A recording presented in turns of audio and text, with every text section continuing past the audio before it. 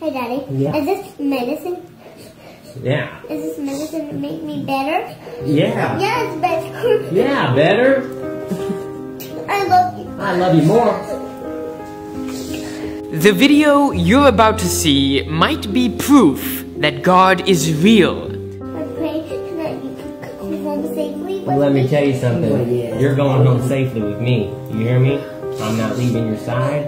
Nobody's gonna hurt you no more. We're just waiting for this medicine to wear off and we're gonna go home and snuggle, okay? Okay. Everything's gonna be better. I just wanna let you know you are amazing. You know that? I love you. I love you back. I love you back. You're so handsome. You're so beautiful. This is a shocking true story of a little girl who suffered from a deadly illness. But while she was in the hospital, she had what she described as an encounter with God. Hey, Mommy. Hey, baby. Can you sleep with me? I'll sleep with you all day long, every You're day. going to sleep in our bed. You're welcome. And I will snuggle and love you. I love you more. As long as I get better, I'm okay. Yes, you are. You already are. You are tough britches.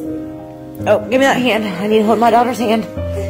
Because she's my baby. Hold your legs again, Joe. We look like the same. Yeah. Yeah. Beautiful. We are. My mommy. I am your mommy. I miss you. I miss you. I love you. We've only been gone five minutes.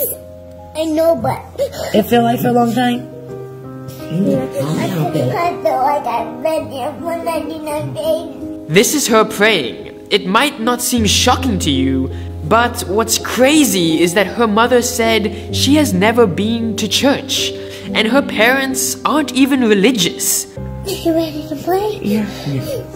Now, lady. Down, lady. Down to sleep. Down to sleep. Pray the Lord, my my soul soul to to keep. keep. And now, amen. And I hope I get better. Turns out this is the exact prayer her late grandmother used to use before she was even born. How did she know what words to say? Did she go to heaven and come back? Is this proof that God exists? Or is it all just a coincidence? And I'm ah, better. Yeah. Yeah, better. I'm better. Yeah.